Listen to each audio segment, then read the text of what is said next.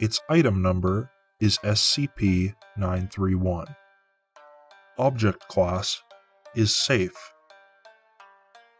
Heed these procedures to keep the item secure.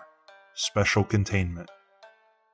Keep at Site 19 in a Level 2 locker, but no extra guards. Free access to it is prohibited to most, need third tier clearance. Effects are triggered by some images of it, depends on angle. Writing about it will always be affected despite ignorance.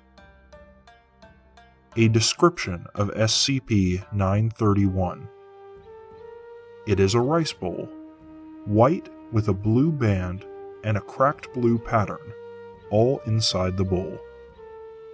3 inches in height, 4.5 inches across. Metric doesn't fit. No maker's marks found, suspected to have been made late 1900s. When viewed or handled, the item causes people to write in haiku. Not the classic sense. Themes of nature aren't needed, just 575. Speech remains unchanged, but trying to write or type ends up as haiku. Exposure effects wear off within a few hours, varies by subject. Anything written about it, also haiku, even if absent. If written by one ignorant of its effect, they're still affected.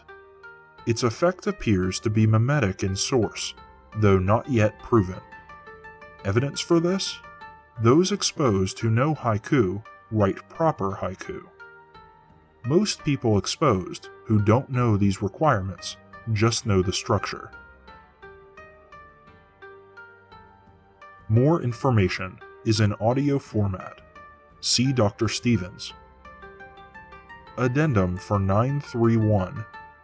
This anomaly was used to cross test. Considered useful to further contain hazard to keep the world safe. Details of cross text.